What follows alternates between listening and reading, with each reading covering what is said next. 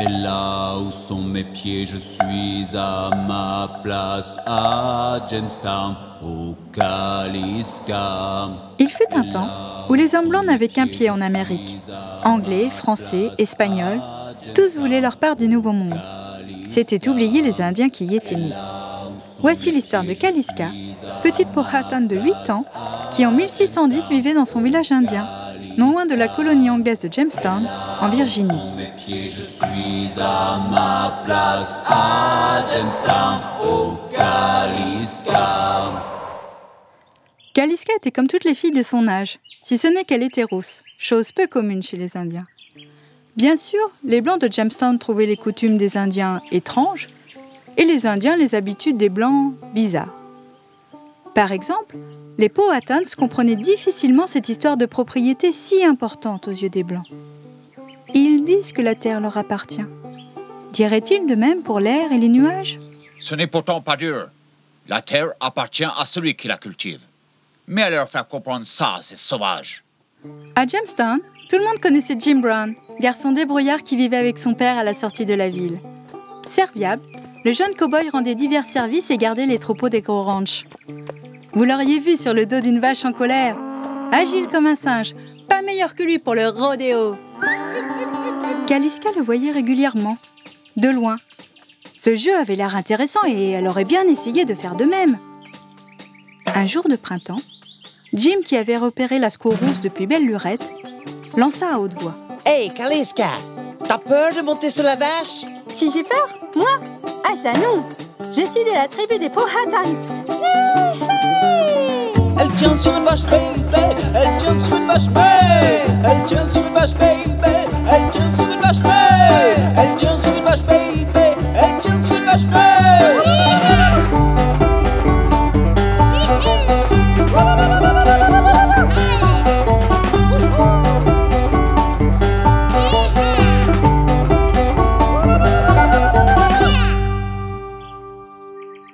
C'est ainsi que, chevauchant la vache, quelques bleus et bosses plus tard, Kaliska gagna le respect de Jim.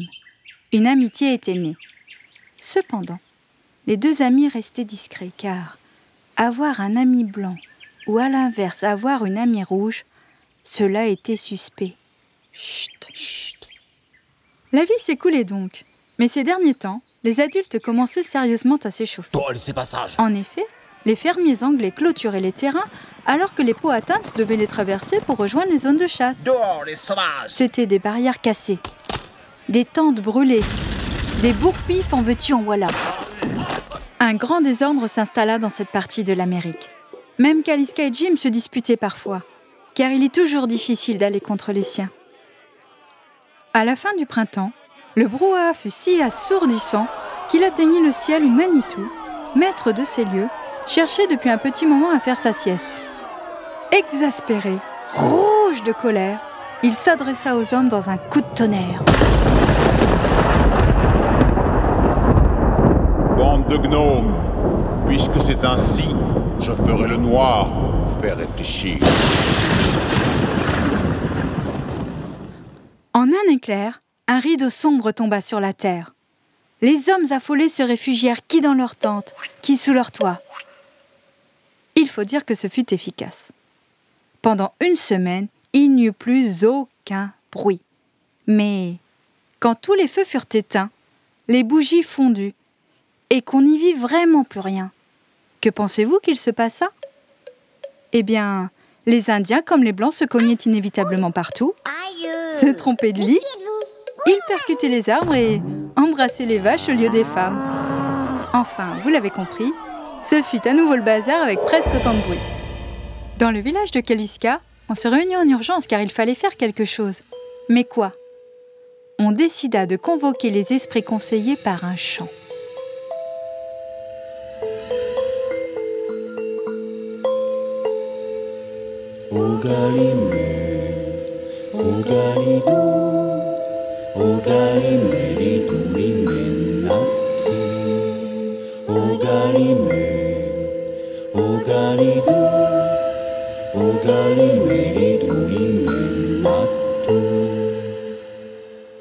Alors la réponse leur arriva par l'esprit de la forêt, qui, sous l'apparence d'une chouette, s'adressa aux Powhatans.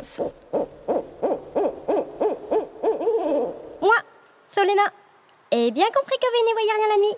Mais j'ai aussi compris que Manitou est très colère. Colère, colère. Ah oui, il est colère. hein. Je vais cependant vous aider, car je suis lasse de vous voir cogner les armes. Toi, Kaliska, cheveux de feu, veux-tu me suivre? Répondit Kaliska, ce qui était une parole de grande sagesse, mais qui voulait surtout dire oui. Immédiatement, d'aimables lucioles formèrent un serpentin de lumière, dirigeant ainsi Kaliska et Cholena vers la clairière au ciel, prairie secrète où le dieu daignait se manifester aux hommes.